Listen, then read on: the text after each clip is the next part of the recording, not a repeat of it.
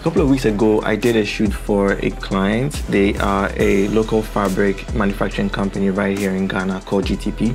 The shoot was done over two days, and um, I happened to film the behind the scenes. But what I want to do is just show you one particular lighting setup that I feel really, really helped with what happened on day one, right?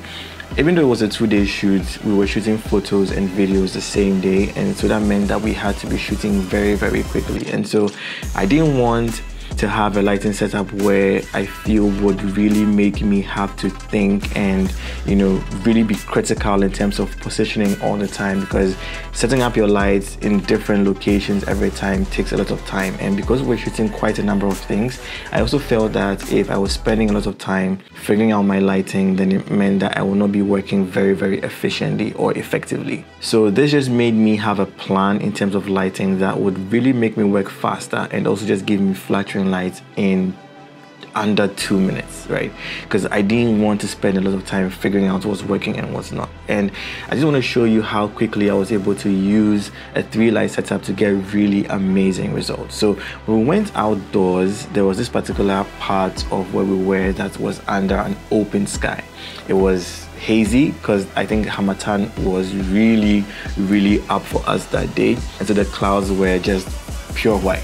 And we had shot a lot during the day earlier in the apartments and other parts of the outdoors um, that we were at, and time was going. So that meant that I really had to work fast and make sure that I'm able to capture as many images as possible within a short time. Because remember, I said that we are doing photos and videos at the same time, and so that meant that I didn't really have a lot of time to waste. Now, it's also good when you're doing productions like this to have, you know, assistants, handy people around because just imagine that you're doing this by yourself and you're going to, you know, set up a light, come back and take a test shot and figure out if the position is good. If it's not, you now have to walk back to the light and adjust it. And that fine tuning takes a lot of time and it will also make you come across as someone who isn't an efficient photographer. It's also going to make you come across as someone who's unprofessional. So you need a team and you need a reliable team. You need people that you've probably worked with a couple of times or if you haven't, you know, just people who understand the craft so that if you're just giving them directions, it's easy for them to follow.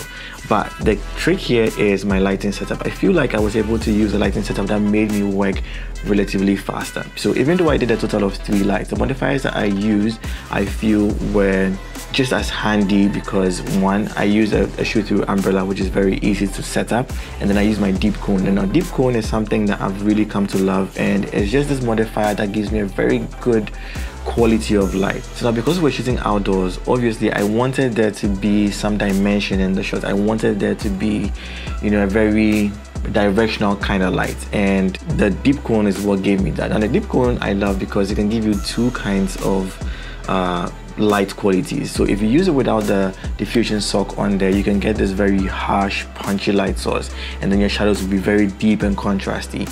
Or you can add the diffusion sock on there just to take that shine that reflective nature off a little bit. And I also like the deep cone because it tends to increase the output of your light. And so when I'm using something like that, I don't have to stress my strobes so much. Now the trick here is also that I'm mixing a hard and soft light. And so when the deep cone defined my subject, I then use the shoot through umbrella to soften the shadows and it just give me an even illumination from top to bottom. Remember, it's a deep focus reflector, the main light, right? It's the deep focus reflector. So it means that it's focusing the light in a specific area. And so you may not be able to get even illumination from top to bottom. So this is where the second light comes in and then just blends everything together and gives that very beautiful quality of light that you can't get just by using one modifier. Now to further enhance the shots, I felt like even though the sky was plain, the Harmattan was really for us and so the sky was pretty much gray and I knew that I wanted to add a bit of detail in there just to add depth later on and so I decided to add an edge light. Now what I feel I should have done to the edge light was probably just warm it up a little bit because the sky, like later on when we got some details in the sky, um, I mean I couldn't have gotten with my normal camera exposure because that meant that I would really darken down the ambience and it would look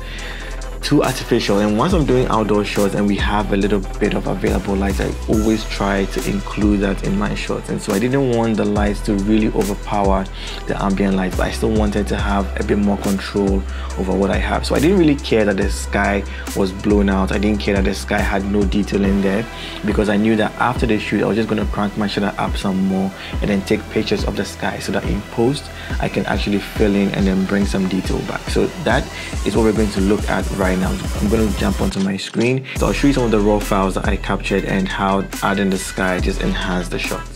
Now jumping onto my screen, you can see that we have this light source clearly in the shot, but in the edited image, I've gotten rid of it. Also, if you look at the sky, there's no detail, it's gray, and this is a picture of some of the skies that I took, knowing that I was going to insert those into the image, right?